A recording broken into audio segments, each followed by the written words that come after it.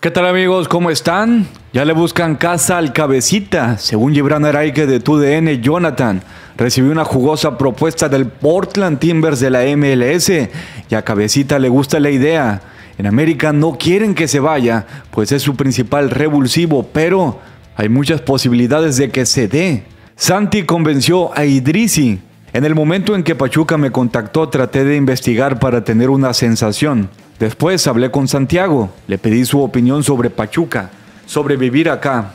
Le pregunté varias cosas y después de esa llamada estaba convencido de subirme al avión y venir a México, dijo Idrisi a Fox. Vela seguirá en la MLS, según Fernando Ceballos de Fox Sports. El bombardero deja a Los Ángeles FC. No se pusieron de acuerdo y ahora jugará para el San José Earthquakes uno de los equipos más humildes del campeonato. Chicharo es combustible en Chivas.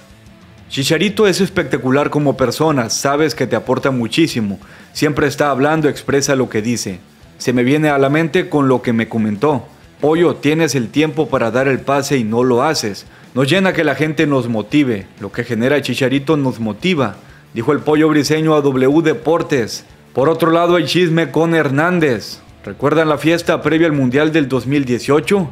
La conductora Paulina Trejo reveló que varios convocados acusaron al Chicharito de ponerles un 4, llamar a la prensa para que los captara en el momento a todos los invitados los investigamos. Y yo me encontré con videos tuyos tirándole durísimo al chicharito. Yo en ese entonces tenía una muy buena relación con un jugador que estuvo en el Mundial de Rusia. No voy a decir el nombre tampoco. Cuando termina el partido, este jugador me dice que van a hacer una fiesta organizada por Javier.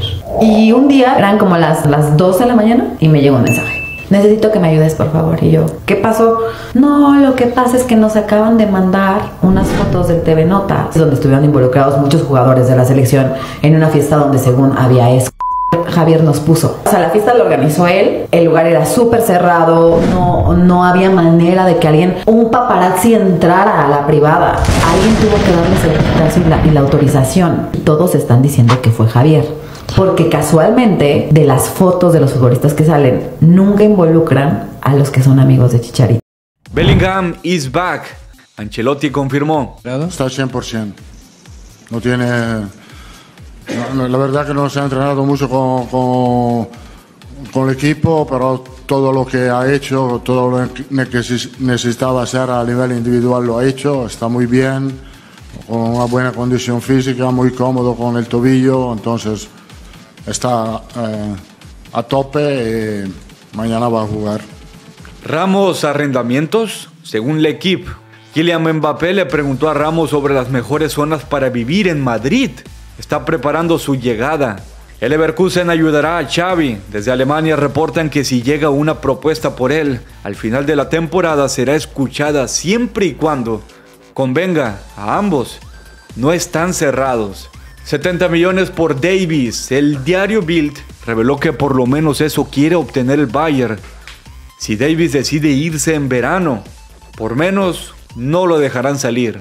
Según el mismo medio, el Madrid no estaría dispuesto a soltar esa cantidad por el canadiense. El Bilbao le ganó al Atlético 3 a 0 y están en la final de la Copa del Rey, 4 0 el global. Será Mallorca, Athletic Club en la final. Lo lamentable, a horas previas de este partido, aficionados ultras del Atlético de Bilbao agredieron a otros aficionados del Atlético de Madrid que estaban disfrutando de una cerveza en un bar en la sede del partido. Resultaron heridos, algunos de gravedad y hospitalizados. El Atlético de Madrid condenó el acto y su primera decisión fue que no venderán boletos para los aficionados del Atlético de Madrid para el juego de abril cuando reciben al Bilbao en el Wanda Metropolitano. ¿Qué ha pasado exactamente y cómo están esos aficionados? Bueno, parece ser que ha habido varios aficionados que han sido agredidos por gente de aquí del Atlético de Bilbao y nosotros siempre decimos lo mismo, ¿no? que venimos al fútbol a ganar amigos, no a tener problemas ni a tener dificultades para jugar un partido de fútbol. El fútbol es el fútbol y realmente lo que no se puede hacer es consentir agresiones ni ningún tipo de violaciones de los derechos que tiene cualquier ciudadano para poder venir a ver un partido de fútbol sin ningún problema. Entiendo que ha sido en la calle, en algún bar, en los... eh, ha sido en un bar donde les han pillado, les han agredido y los han herido con gravedad algunos. ¿Con gravedad? Sí, con gravedad sí. ¿Están en el hospital? Eh, están en el hospital, estamos esperando noticias, pero realmente yo lo que quiero pedir de aquí a todos los aficionados del Atlético de Bilbao en esta casa, en este caso, y sobre todo a todos los aficionados de España, que el fútbol es el fútbol, que al fútbol hay que venir a ver un partido, como es un partido hoy, que es un partido importante, interesantísimo, y que juegan dos grandes equipos de la, de la Liga Española, pero no viene uno aquí a matarse ni a morir por ningún partido de fútbol, ni por ninguna situación que no sea venir a disfrutar de un día de ocio y de tranquilidad. Esto es todo, señoras y señores. Un placer haberles informado de nuevo. Recuerden suscribirse si les gusta el contenido. Un buen me gusta siempre ayuda. Gracias y bien atentos. Para la próxima.